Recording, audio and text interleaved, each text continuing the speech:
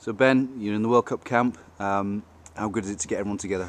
Yeah, it's been awesome. Obviously, uh, everyone's enjoyed a bit of time off, so it's a bit of a shock to the system when you start doing the fitness. But uh, everyone's enjoying it, and it's great. You know, the squad are here. It's exciting times. You know, it's a massive year for us, and you know everyone's fighting to get on that plane, so it's exciting stuff. 45 players and only 30 places to, to be had. Um, competition is going to be pretty high.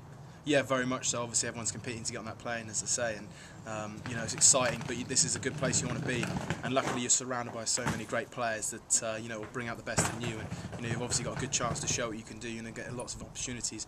You know, we've got 10, 11 weeks before we go, so uh, you know everyone's just really excited, rolling their sleeves up and working very, very hard. John, I said yesterday, you've got to make every session count. Is that the kind of the attitude from the players? Yeah, very much so. You know, you've got to make everything count. As Jono said, I think the attitude is to push one another. I think whether you're in different positions or the same positions, everyone's you know really working hard and making sure that they're pushing their teammate on to uh, deliver the best out of each other, to make sure that best squad can go and, and perform at the World Cup.